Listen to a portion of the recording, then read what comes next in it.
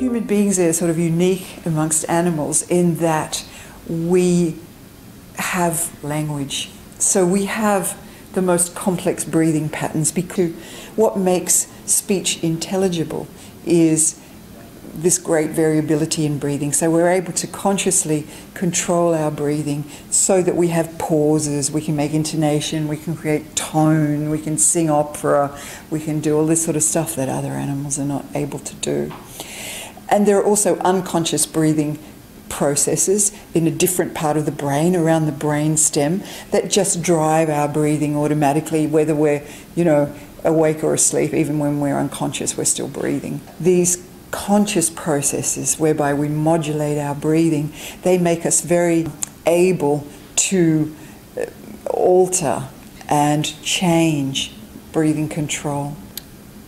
Due to the process of neuroplasticity, we can train our breathing to become more optimal to support health.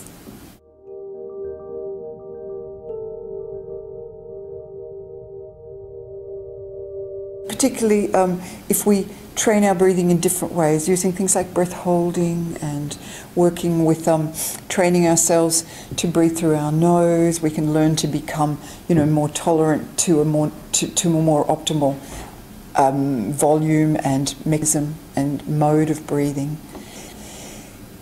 people start to get improvement within a week. People find that they're more comfortable with nasal breathing and that their breathing becomes more relaxed.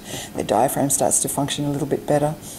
But you know, it will continue over months, putting your full attention, you know, into doing breathing exercises, which is the way to engage neuroplasticity. You pay attention to the thing that you're doing. You really bring your mental attention to it.